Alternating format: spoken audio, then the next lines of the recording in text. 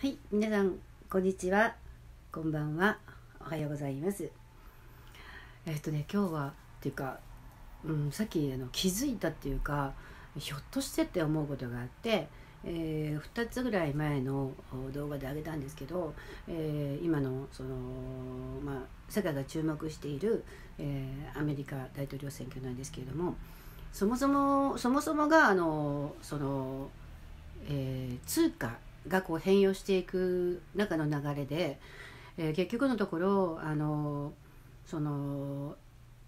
その資本を資本というかお金の支配をしている人たちっていうのがもう誰って言わなくてもお分かりだと思うんですけれども、えーその人たちの中に、えー、2通りっていうかね2通りの方たちがいるんじゃないかなって思ってるんですけど真剣に本当にこの世の中を良くしたいフラットにしたいと思っている人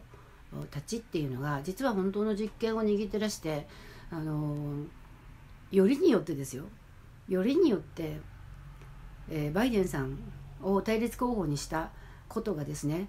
すごく不思議なんですね。ある意味あの勝ちにいってないじゃないですか。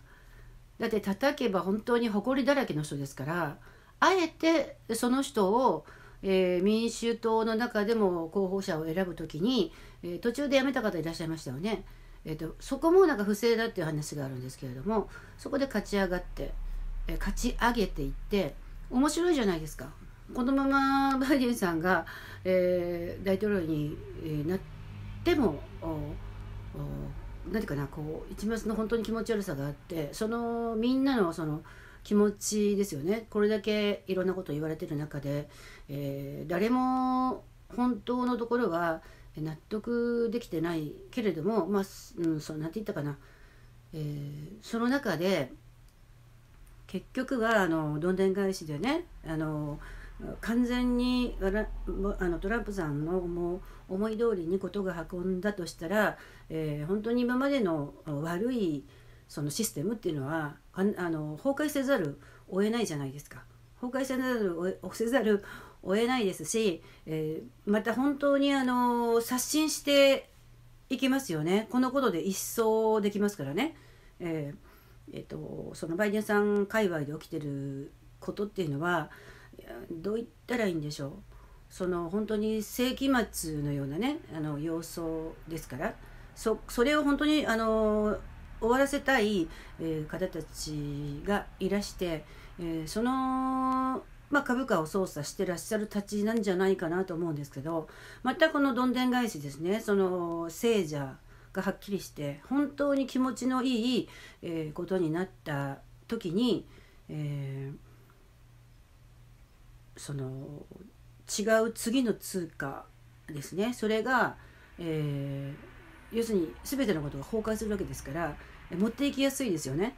そそこにあのシフトしやすくなるんじゃないかなって、えー思うんですね。で今 SNS 関連の人たちが、えーバイデンさん側についていることを見てもそこも潰せますよね。なのでこれ私本当に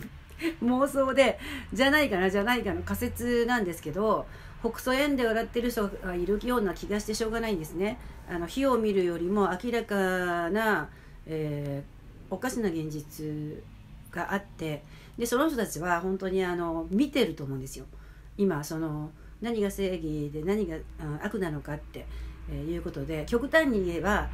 今そのバイデンさんがいいいいんだっていうかもう無理無理無理押しで、えーことを進ませようとする人たちは落ちてくんじゃないかなと思うんですよね。パーって落とされちゃう。で、えー残残ってるっていうかそうじゃないでしょって言った人が誰なのか？を、えー YouTube のこの YouTuber さんも含めてまたテレビのコメンテーターさんも含めてまた国も含めてじっと見ているんじゃないかっていう気がしてしょうがないです。私の勝手なあの憶測です。以上です。